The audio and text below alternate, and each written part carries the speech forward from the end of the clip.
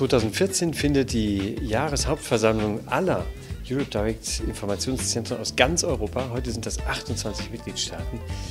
Wir haben über 570 Anmeldungen. Äh, findet in Bonn statt. Das Treffen ist ganz wesentlich ein Netzwerktreffen. Das sind Leute, die sind Experten in der Europäischen Kommission. Die machen das seit Jahren.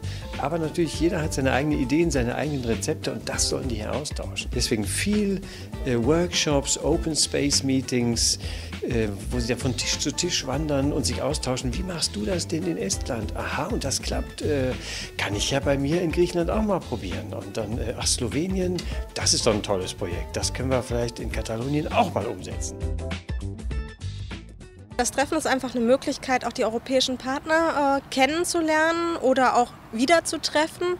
Ähm, um die Kontakte aufrechtzuerhalten, um vielleicht über Projekte zu sprechen und um auch zu besprechen, wie kann man vielleicht auch die Akteure vor Ort zusammenbringen. Mir ist natürlich auch sehr wichtig, mit Experten der Europäischen Kommission zusammenzutreffen, weil man hier auch äh, neueste Pläne und Entwicklungen erfährt und äh, gerade was Fachpolitiken angeht, dann auch die Informationen mitnehmen kann, um das für die eigenen Jahrespläne umsetzen zu können.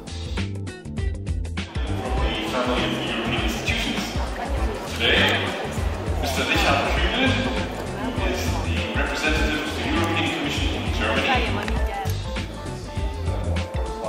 And Mr. Frank Picknat, who is the head of the Information Office of the European Parliament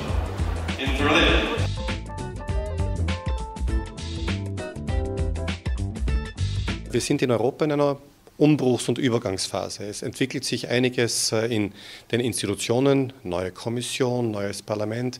Wirtschaftlich kommen wir aus der Wirtschaftskrise so langsam heraus. Es tut sich was, auch außerhalb Europas. Und in dieser Zeit des Umbruchs und der Veränderung braucht man Anker der Stabilität.